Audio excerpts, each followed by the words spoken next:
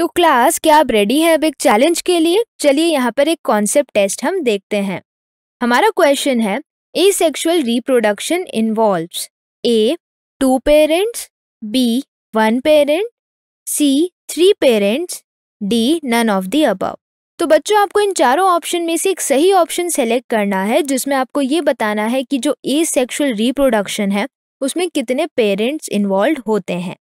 हम यहाँ पर वीडियो को दो मिनट के लिए पॉज करेंगे ताकि आप इस क्वेश्चन को सॉल्व कर लें और अपना आंसर अच्छे से अपनी कॉपी में नोट डाउन कर लें।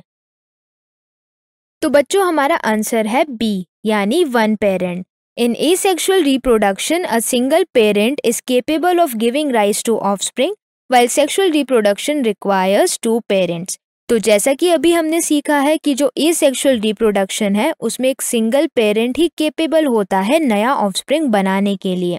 लेकिन जो सेक्शुअल रिप्रोडक्शन होता है, उसमें हमें दो पेरेंट्स की ज़रूरत होती है।